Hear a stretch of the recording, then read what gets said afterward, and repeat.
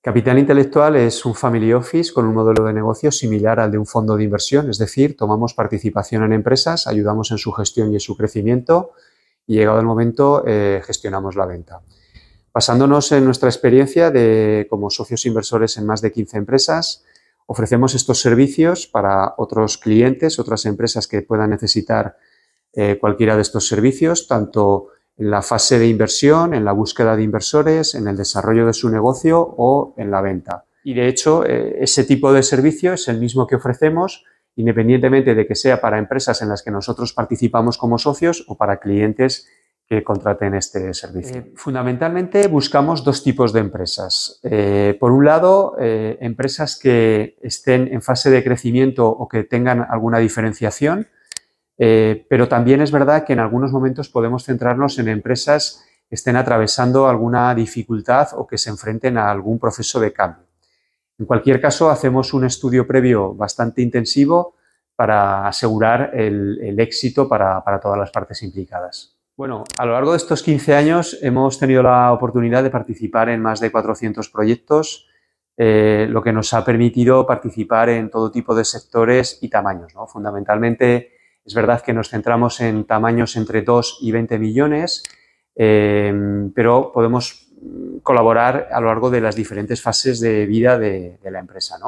Hemos trabajado en algunos casos en la puesta en marcha o creación del modelo de negocio en alguna startup, pero donde realmente aportamos más valor es en empresas que ya están en funcionamiento eh, y que se enfrentan a, un proceso de crecimiento, de expansión internacional o en algún eh, tema más de que requiera una innovación y algún valor. ¿no? Ahí, precisamente por esa experiencia que hemos comentado, es donde más valor podemos aportar y donde más podemos marcar la diferencia. Nuestro modelo de colaboración eh, es bastante flexible en cuanto al modelo de negocio mm, para poder adaptarnos a, necesidades muy concretas que las empresas puedan tener en cada momento.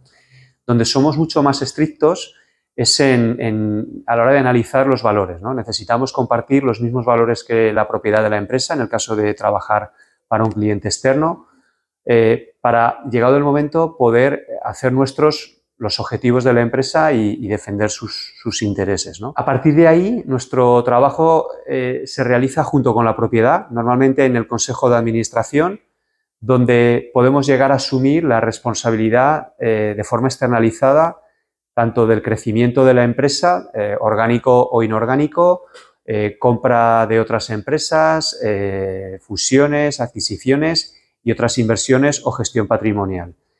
Eh, asimismo, desde, este mismo, desde esta misma posición, en algunas ocasiones colaboramos con la familia tanto en la elaboración o gestión del protocolo familiar como en los planes de sucesión.